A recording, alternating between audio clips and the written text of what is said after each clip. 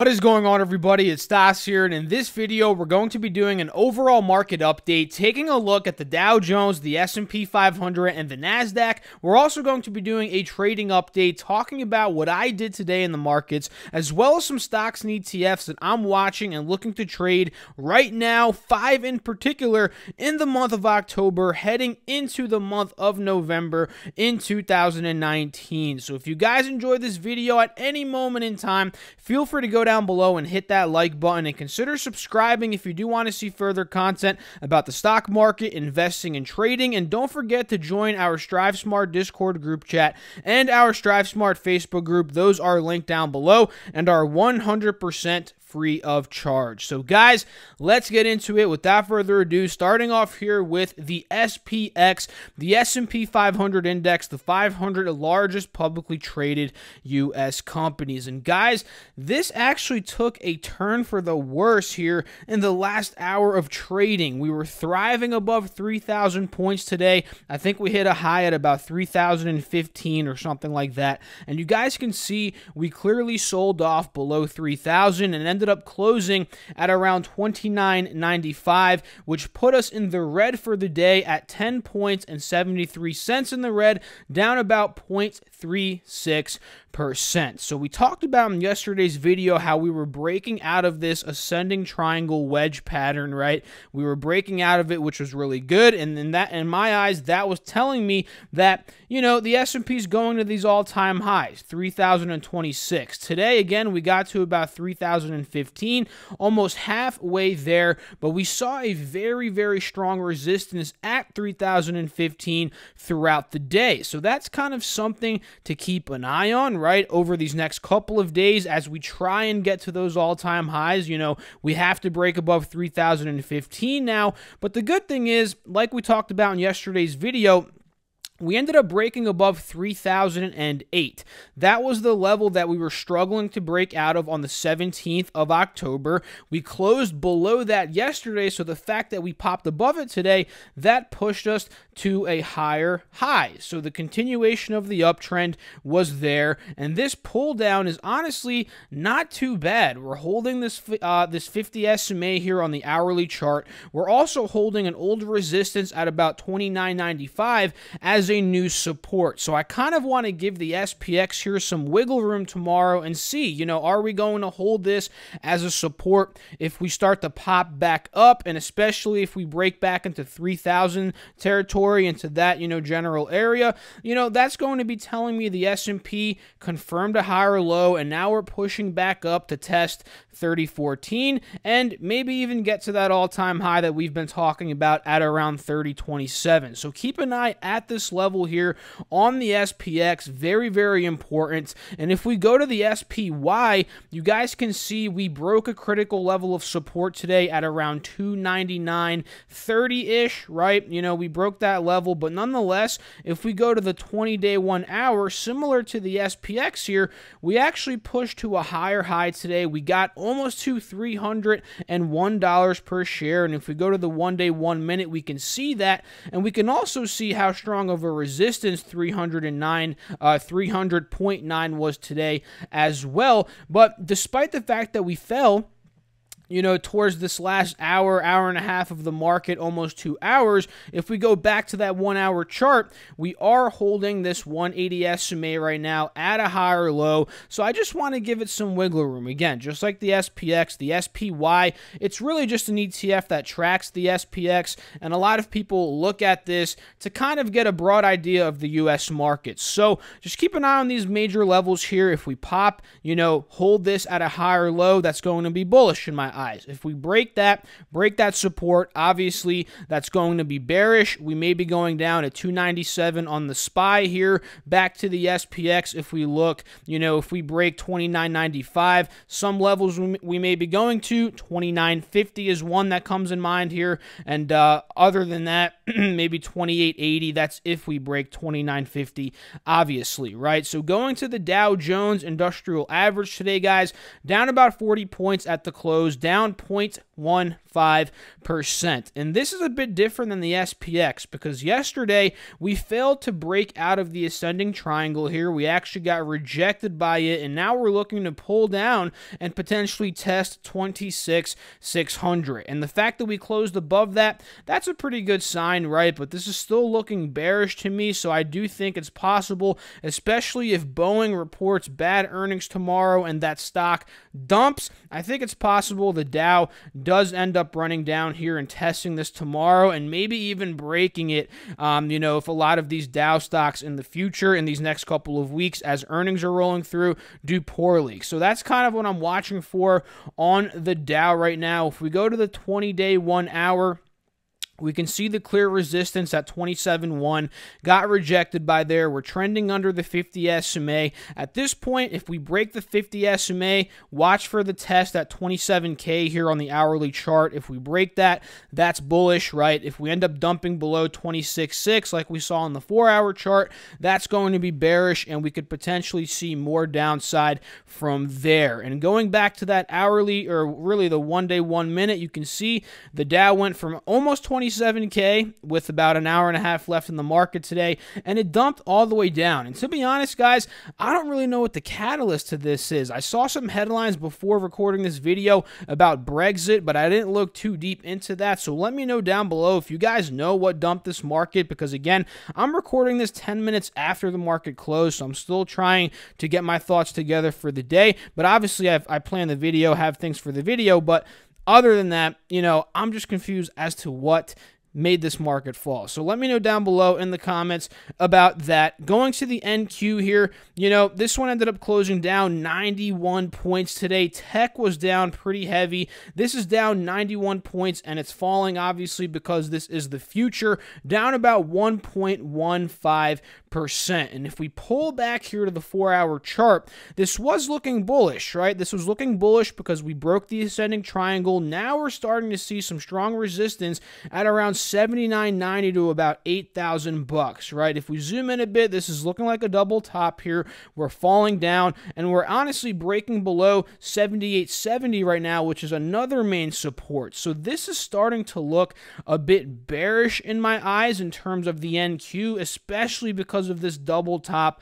downwards break that we're seeing. And by the way, if you guys don't know, a double top typically is a bearish move, especially if we're breaking support levels, you know, after the double top like we are right now on the NASDAQ, right? If we go to the hourly chart, you can see we're breaking the 180 SMA here, which is pretty bearish as well. On the five day, five minute, you guys can see the big dump off and the break of that 7870 support on a bit of a closer scale, which again, like I preach on the channel, guys, it's why it's so important to look at multiple time frames, not just one, but look at everything because it tells different stories these different time frames. You know the five day five minute might be telling a, a, completely different story than the four hour chart right? So overall that's what i'm looking at in terms of the markets right now. We were doing pretty well. Markets dumped. Again i don't know what the catalyst is. It might be brexit. Let me know down below. If you guys um you know really have an idea. Is there not a catalyst? Maybe this is just profit taking. Who knows, right, guys? But anyway, let's get into what I personally did today. Then we'll talk about these five stocks. And very simple, I traded AbbVie overnight, and I actually ended up selling out of my position today to really reanalyze and look for a better entry point tomorrow. And let me explain why, and I'm sure you guys probably know if you watched my video yesterday. So let's zoom in here to the 20 day one hour chart. Actually, let's go to the five day five minute chart so I could show you guys where I got in. So I got in yesterday morning. I believe it was around 76.7, 76.7, roughly right there. I swing traded for the entire day and I held it overnight. And my goal with this originally, like I stated in yesterday's video, was to sell some shares here and then maybe sell the rest of my position at 81.35. But since it filled the gap so quickly this morning to the resistance, I decided to completely sell out of the position, take the quick little gain here on the overnight swing trade, and now I'm in a position where, again, I want to maybe enter this one, re enter this one in the next couple of days, or maybe even wait until after they report earnings here on the 1st of November. It's kind of a mixed bag for me right now, I'll be honest. I'm thinking about what I want to do, and um, yeah, that's why I'm, I'm telling you guys in this video because really I took the profits. Now I'm like on the fence, right? I don't know if I want to re enter before earnings, wait until earnings, but then if I wait until after earnings, I might miss an opportunity, right? But these are just things going through my mind. Another thing is the RSI is overbought, so I didn't want to get caught in an overbought stock that sells off over these next couple of days. So, you know, I ended up just taking those profits. And if we zoom in a bit here, I took the profits as we started to see a strong resistance under that overall level on the four hour chart. And you guys can see it. There was almost a triple top here. I guess you can say it was a triple top. You know, we got rejected here at 78.60. Then we tested it again a couple of minutes later, really about 45 minutes after the market opened. Got rejected there. Got rejected again about 45 minutes later. Then again about 45 minutes later. And at this point, guys, I think I it might have been this pop or this pop Nonetheless, I sold out, guys. I sold out of the position. I believe it was might have been this one at around 78.44. I saw a little descending pattern starting to form here. Um, you know, lower highs. Um, and I, I just thought I just decided to sell out at that point. And if we look at a percentage gain, you know, it's justifiable because I was up almost two and a half percent overnight. That's a pretty good overnight move, in my opinion, for for the way I'm trading and my risk tolerance. So I decided to take the profits there. Another uh, trade I entered today was in Procter and Gamble. They reported earnings today. They did very well. They sold off. There was a lot of profit taking in the morning. It went from 125 to about 121 bucks. And this is perfect scenario for me, guys, because like I always talk about on the channel, I don't really like buying stocks before earnings. I like getting in after after I see a positive report and a lot of just just good sentiment from the company surrounding the earnings report. And that's what we got today today from Procter & Gamble. If we look at the live news here, zoom down a bit, I'll show you guys their earnings. They reported sales of 17.8 billion. That was what they reported and the uh, estimated or not not estimated Last year was 16.69 billion, which is a it's a pretty good year over year increase, right? But that's not the earnings. Let me show you guys the earnings. Where are they here?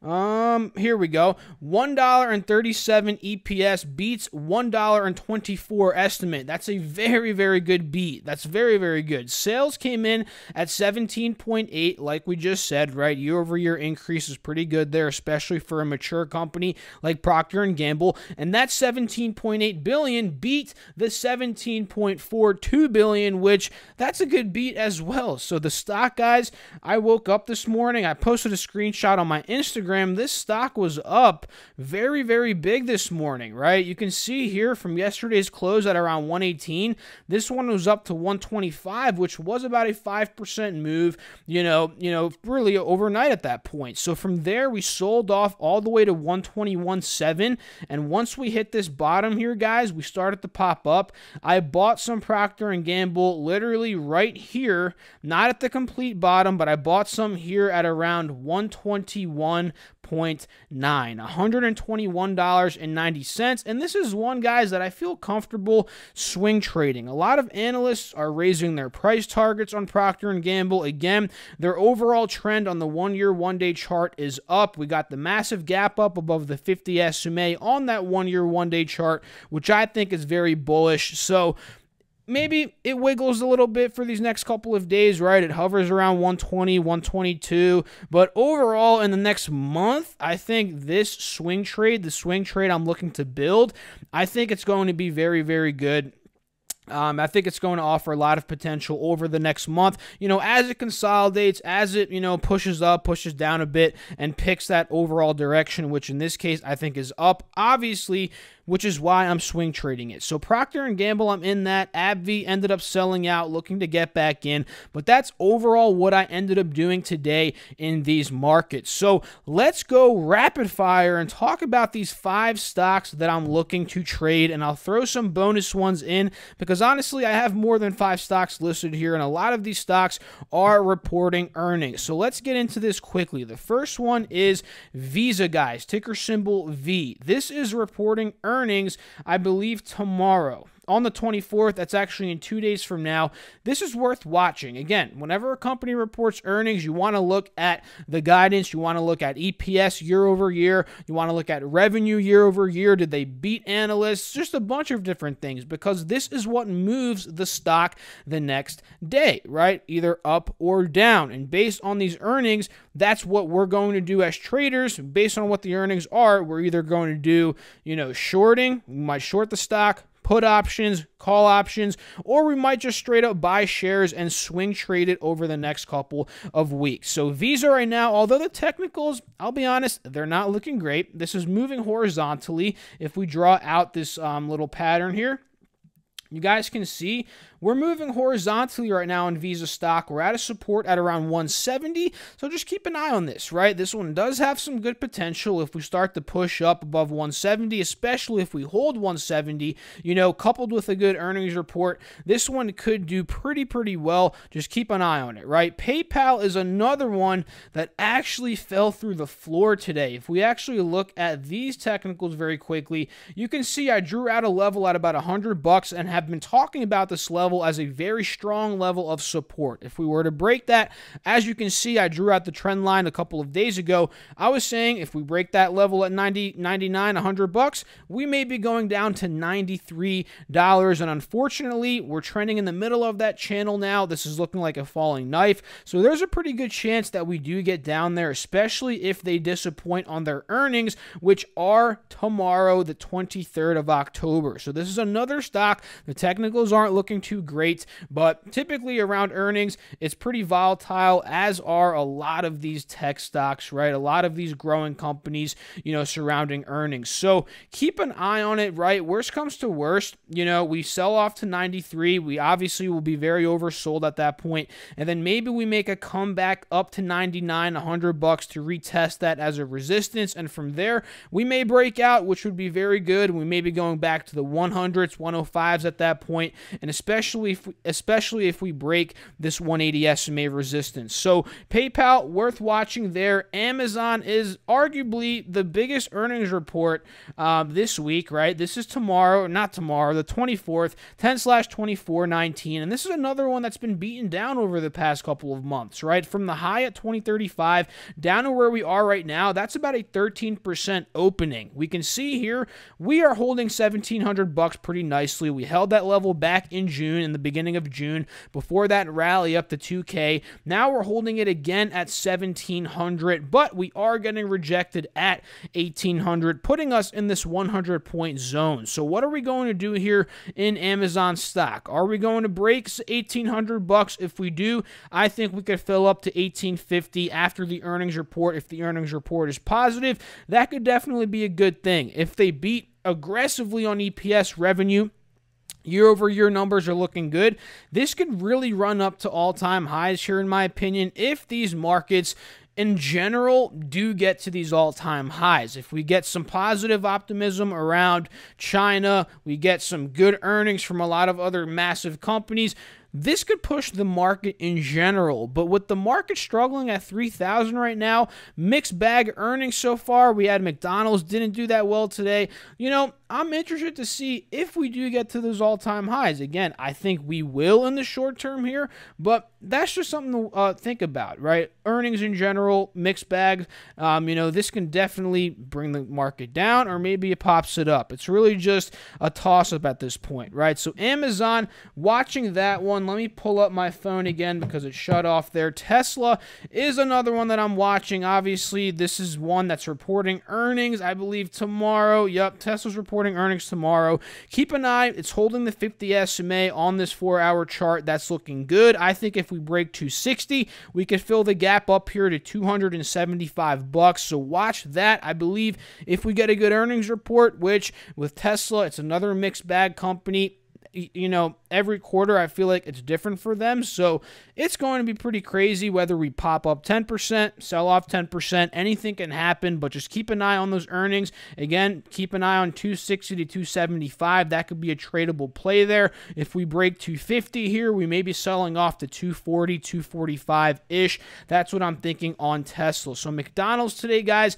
they dumped, and this is one that I'm seriously thinking about a swing trade here once we start to settle, consolidate, and find some support at any of these three levels. The first level you guys see is 200 bucks, roughly 197 to 200 bucks. We closed above that today, which is good. The next level is around 193 and the, the, level under that is around 188 bucks. And you may be asking yourself, why did McDonald's tank today? Well, if I pull up this little picture here, you can see their earnings $2.11 versus $2.21 expected. Revenues 5.4 billion versus 5.5 billion expected. One good thing about their earnings were the global same store sales or same store sales. That's a little tongue twister there, guys.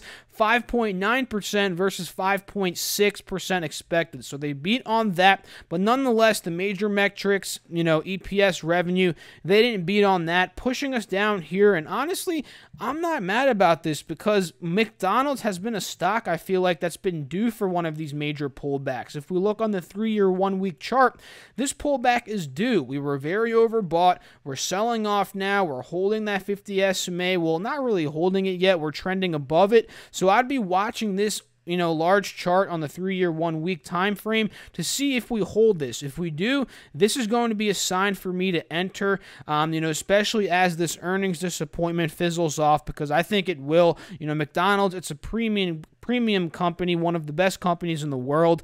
Ultimately, I think this is just going to continue running up here, especially if these markets are healthy.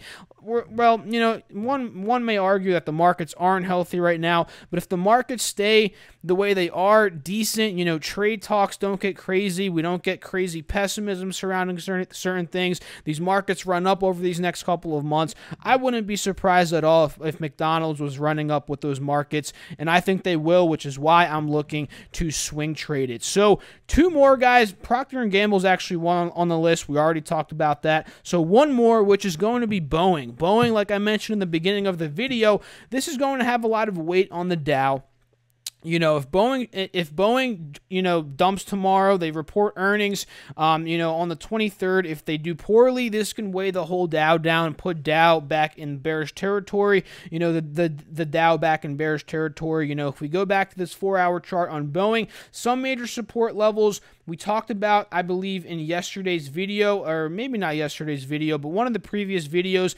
330, very, very strong level of support here. If we break that, you know, we're going to have to pull up the three year chart to see where we'd be going next. You know, arguably, you can say 300 bucks flat. We may be going to that, which could be a put option play if we do get that trigger down, the, you know, the, the selling pressure. We do get obviously negative earnings coupled with that, which would probably cause that selling pressure. You know, this this could be a very shortable stock, in my opinion, especially since a lot of people have been saying, you know, Boeing might not be, you know, doing too well here in the short term due to the issues they've been having with their planes. So, overall, guys, those are some stocks that I'm watching. Five in particular, some bonus ones. Actually, let me give you one more bonus one right now. Altria, guys. MO. This stock has been tearing it up from the low at about 39 bucks. And I've actually been buying this stock in my my, you know, uh, what's it called, guys? My portfolio that's private, the private portfolio, and the public portfolio, which is the M1 series that I have here. I've been buying it heavily, and I'm up a good amount on the shares. On the M1 portfolio, I believe I'm up like 12% on the position already. The other one, I forget how much I'm up on that one. But either way, I think this is worth watching. They're also reporting earnings here, although they are overbought. Watch to see what it does here at 46 bucks, guys. If we break 46, consolidate there a bit, this one could be starting to reverse back up to the 50s, and it's long overdue because tobacco, although it's been declining. Obviously, the cigarette sales, which is Altria's main business, you know, that's been declining. There's no doubt about it. But I think there's a lot of future potential with their investment in the marijuana industry with Cronos and Juul. I'm to say, guys, I think Juul has a lot of potential, although it's been heavily scrutinized in this country, being the United States, and globally. Honestly, guys, it's been scrutinized, but I think over the next couple of months, next couple of years, I think Juul is going to have a lot, a lot, a lot of potential here, which is why I've been buying Altria and uh, why you should be watching it as well because this is a company that it's mature. It's a mature company. Some may argue it's declining. Its core business is declining. That's a fact, right? But they're looking to plan for the future. This is a company that's looking to really grow future revenue streams in in industries that are going to boom. And I do believe the marijuana industry is going to boom here in the next 10 years as more states legalize it. And I think the electric company not electric company uh, the electric cigarette company Juul is going to do very very well as well here. So overall guys that's it for this video. If you enjoyed it feel free to go down below hit that like button consider subscribing if you do want to see further content from me about the stock market investing and trading. And don't forget forget to join the Strive Smart Discord group chat and the Strive Smart Facebook group. Those are linked down below, as well as my personal Instagram, my Twitter. Everything is linked down below. So I'll catch you all in the next video. Thanks again for watching. Peace out.